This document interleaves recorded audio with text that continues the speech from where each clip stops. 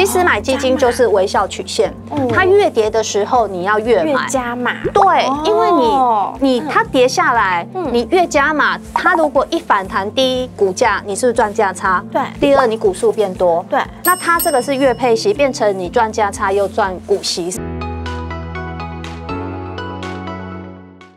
Hello，大家好，我是亮亮。嗨，大家好，我是丽总。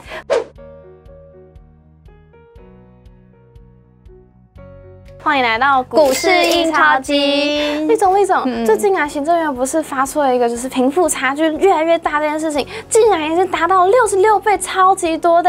那这样子，我们小资主到底要怎么挤，努力的挤进前百分之二十趴，来到富人的地方呢？简单来说，首先第一，能买股票就不要买房。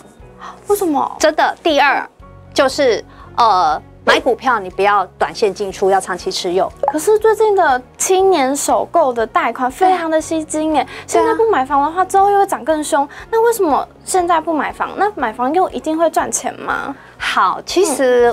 我呃有研究了一下，文湖线它开通了三十年，对啊，当时文湖线在开通的时候，大安站一平才三十万附近，最近一平应该破百万了吧？对啊，对，那你会觉得哇，那破百万那。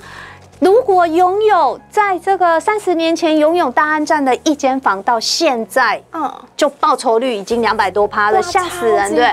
对，那你去除以你的持有，我算过了，年报酬才四趴，四趴，加上你把这个房出租，报酬率两趴，你这样我算过，年报酬是六趴多，但是股票，你选一档股票，好好的买，嗯。它的年报酬有九趴多，对你这样听起来是不是买股票？报酬率会比房子高，对啊，这样听起来买股票报酬真的很高，对，它比房子高。为什么它是不可以短线交易，必须要长期持有？对，因为你不懂一档个股它的这个基本面啊，我们资讯比较封闭，所以我们如果说你短线进出容易赔价差，再赔手续费，其实你有没有想过，你进出一次，你的本金就少一次？对，所以最好的方式就是买好一档股票，然后我们好好的给它放着。你看那时候。台积电，对，那时候不是台积电七百五的时候，我跟你说，哇，大跌就要买龙头股吗？对啊，没错。你知道台积电今天到哪里了吗？八百多，对不对？对呀，你看你四月份买七百五买一张台积电，到现在一张就赚八万哎。啊，你不要说一张，你五百股就好，五百股也赚四万哎。嗯，所以是不是比较好？那你房子怎么可能四月买现在就卖？而且现在又有房地合一税哦，对。所以我觉得就是说，呃，年轻人，我会建议先买股，等存到很多再来买房。嗯，然后买股呢，第一。你买了之后你就睡觉了，就给他就不要这样一直想要进出，买了就把它当资产放着，好好的报一个波段。哦，原来是这样。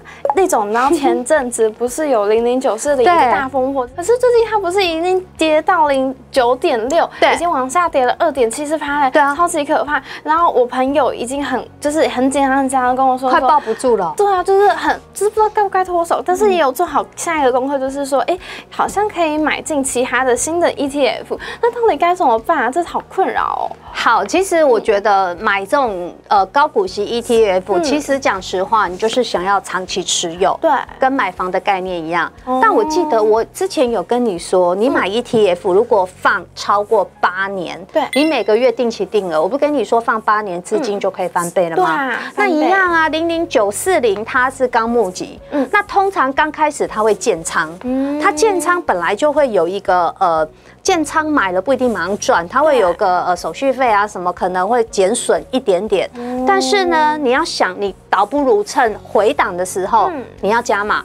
其实买基金就是微笑曲线，它越跌的时候你要越买加码。对，因为你你它跌下来，你越加码，它如果一反弹，第一股价你是不是赚价差？对。第二你股数变多，对。那它这个是月配息，变成你赚价差又赚股息，是不是很好？双赢的感觉。是，所以越跌越买，越跌越买，大家听好喽。对，因为通常这种零零九四零，它只要。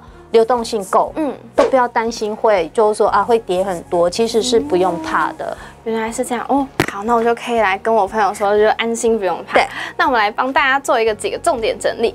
第一个呢，就是我们的股票跟房子，当然第一个优先是选股票，因为它的年化报酬率比房子来的高。第二个就是我们的股票必须是长期持有，不可以以短线交易，因为会有手续费的这个 会扣手续费，再加上扣交易税，还有。价差的损失啊，对对对，没错啊。第三点呢，就是零点九四点的各位朋友不用担心，现在虽然是一个小小的低点，但是啊，持续加码买进，不仅之后回弹的时候就可以赚价差，又可以赚股息，绝对是非常安全的。那如果想知道更多的理财资讯的话，欢迎加入我们的官方 Line，是小老鼠 Go Go 一七八八八。如果喜欢我们节目的话，记得按赞、订阅、加分享，记得帮我开小铃铛哦。那我们下礼拜见，拜拜。